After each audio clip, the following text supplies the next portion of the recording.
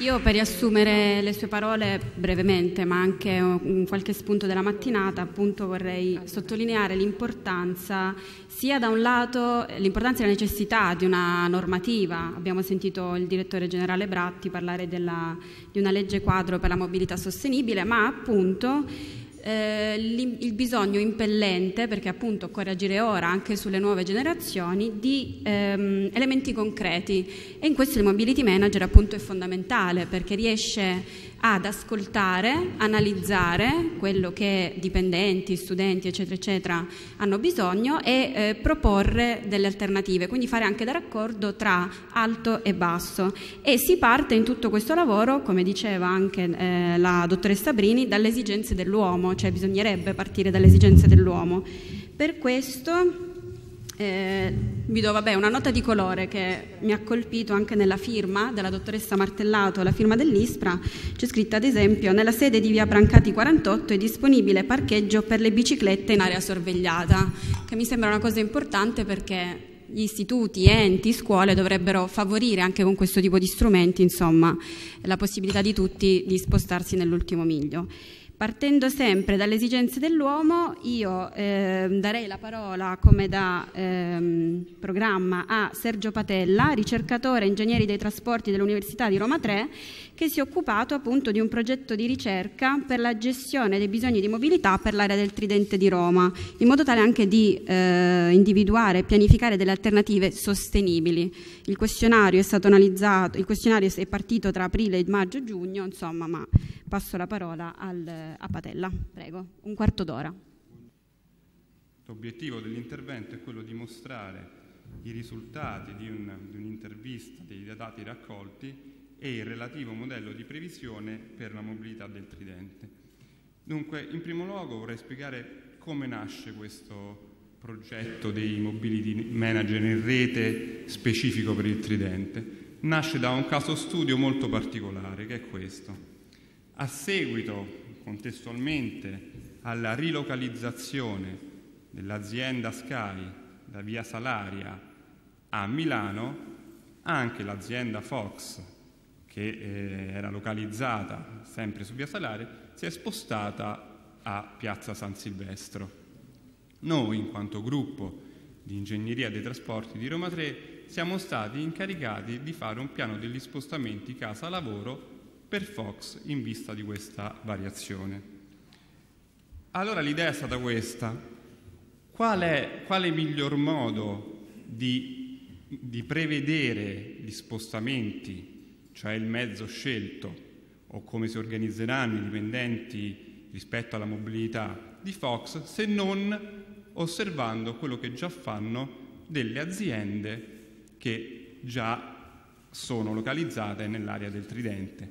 Quindi sostanzialmente che cosa facciamo? Facciamo l'inverso di quello che fa la statistica normalmente. Se normalmente viene desunta le caratteristiche della popolazione attraverso l'osservazione di, un, di una piccola parte di questa, cioè il campione, noi facciamo il contrario.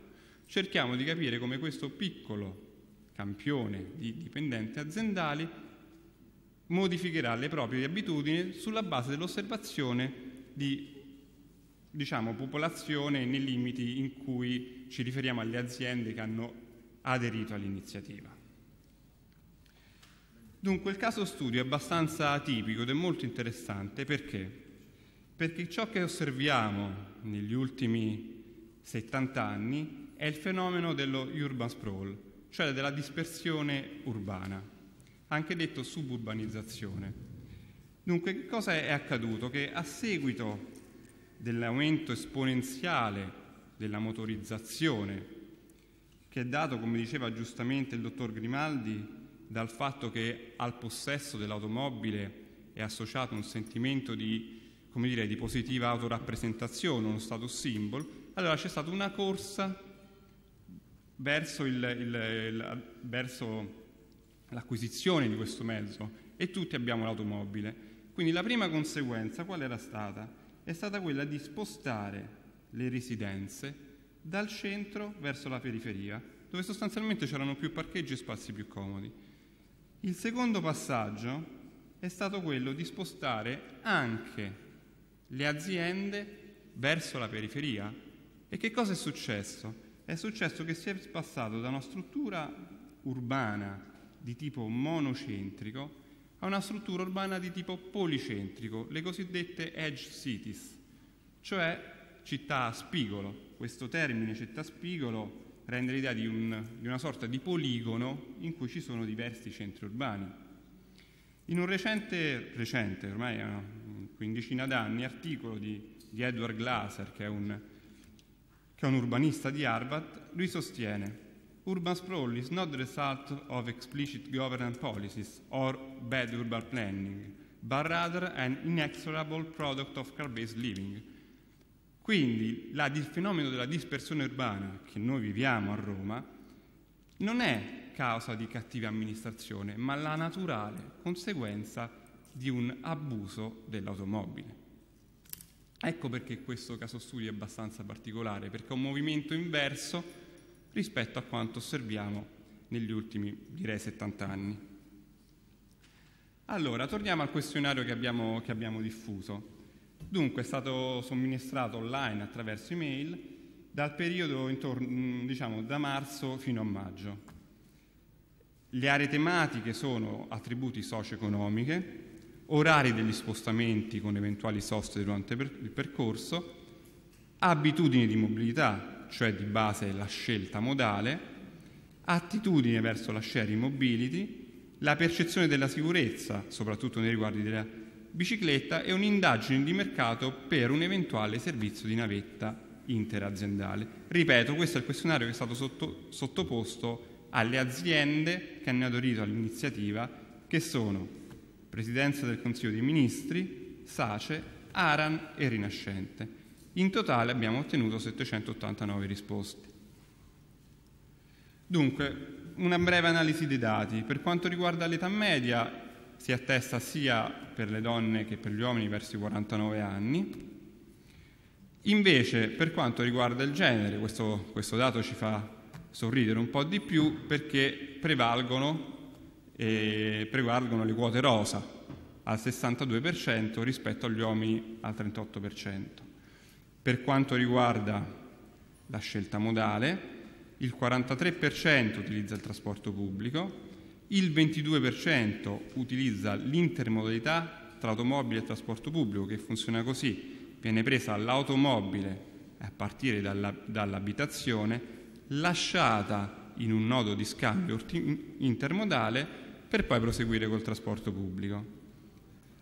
Lo scooter si attesta al 13%, e l'automobile per tutto lo spostamento si attesta al 5%. Purtroppo alternative come la bicicletta o l'andare a piedi sono completamente trascurate, così come l'intermodalità tra scooter e trasporto pubblico e i taxi. Dunque andiamo a vedere un po' di propensione verso alternative più sostenibili.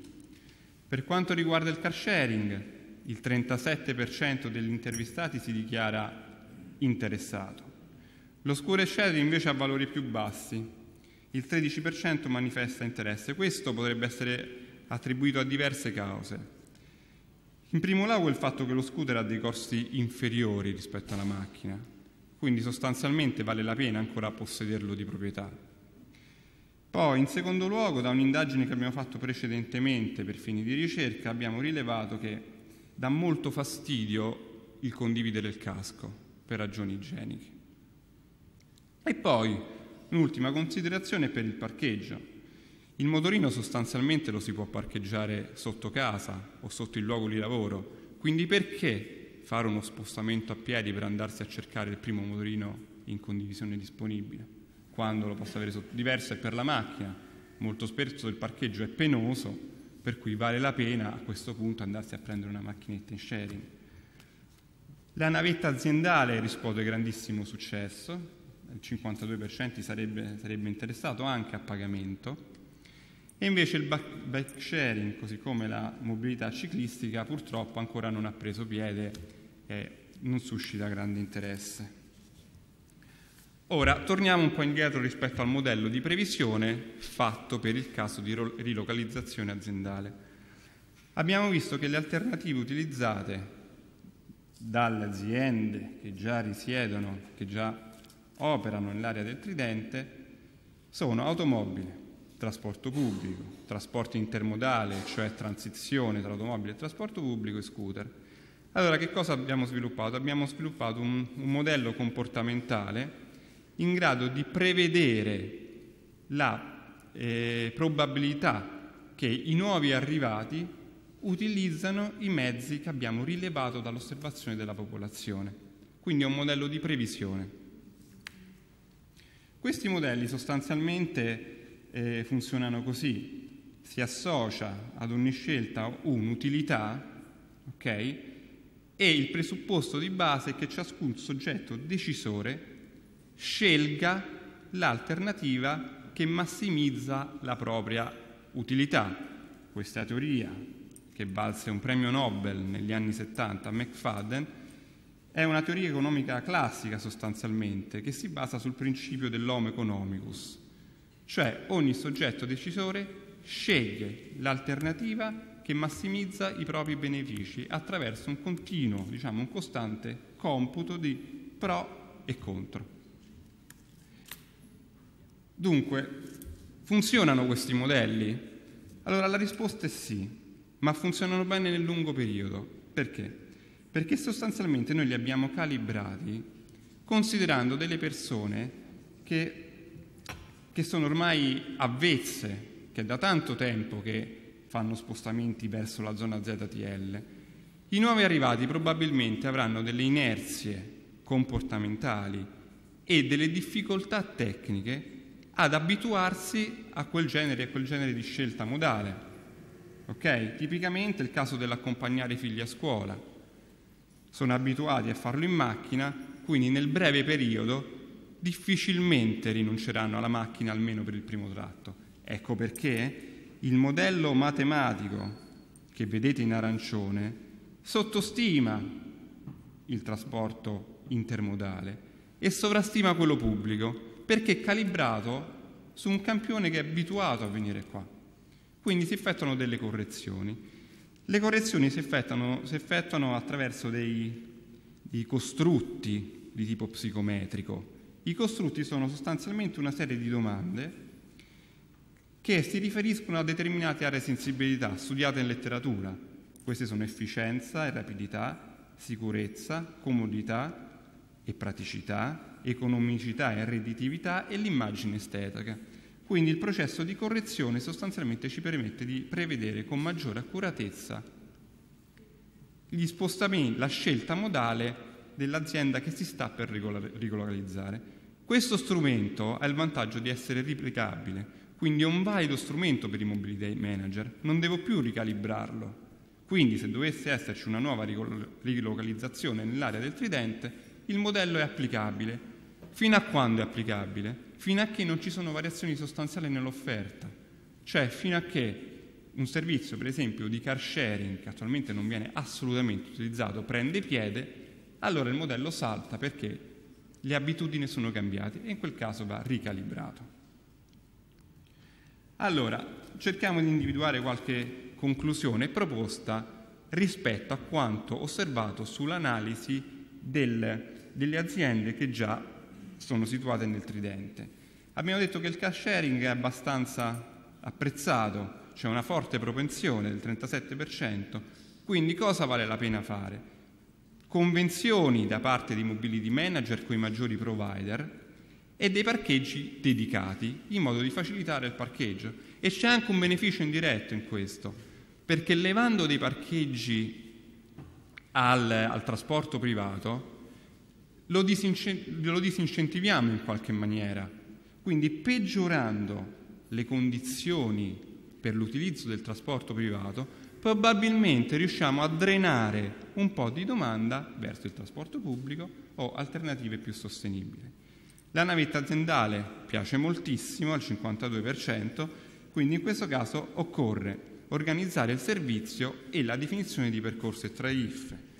Per quanto riguarda il caso di Fox, è stato definito all'epoca, sulla base dei dati osservati per loro, un possibile percorso che ha come nodo di partenza Piazzale dei Partigiani, cioè stazione Ustienzi, che è un nodo strategico perché converge la ferrovia, converge la linea B e, e converge eh, inoltre c'è un nodo di scambio terminale, c'è un parcheggio comodo per chi, per chi fa il primo tratto in macchina. A seguire le fermate di Circo Massimo dove viene raccolta l'utenza della linea B, Piazza Venezia e infine via di San Claudio, cioè San Silvestro. Per quanto riguarda la bicicletta abbiamo visto che non riscuote grande successo, però il 63% dice tuttavia che potrebbe essere interessato, ma solo se fossero, ci fossero degli interventi. In primo luogo, il più complesso per noi pianificatori è quello delle piste ciclabili. È un intervento a lungo termine che merita degli studi specifici, specifici soprattutto per Roma. Poi, questo è più facile, la presenza di rastrelliere che facilitano il parcheggio e questo si fa a livello di amministrazione, a livello di comune, diciamo. E poi la predisposizione di docce, di docce e spogliatoi. Questa è un'azione che dovrebbero fare i relativi mobility manager per la loro azienda. Anche, anche rispetto a quest'ultima osservazione dei, dei suggerimenti per i mobility manager, è quello degli incentivi per l'acquisto di biciclette elettriche pieghevoli. Un'ultima considerazione nei riguardi del trasporto pubblico è quello che varrebbe la pena il ripristino dei minibus elettrici che passavano su via del corso. Ricordiamo però che quando si parla di trasporto pubblico l'approccio è diverso. Perché? Perché il servizio di trasporto pubblico non viene usato chiaramente solo da da, mm, dai dipendenti della zona del Triente, ma si inserisce in tutta la rete di trasporto. Quindi sostanzialmente i numeri di cui parliamo noi sono un'inerzia rispetto a quelli che questo servizio muoverebbe. Quindi occorre fare un, delle valutazioni su scala più ampia, considerando l'impatto di questi veicoli su tutta la rete. Io ho concluso, se ci sono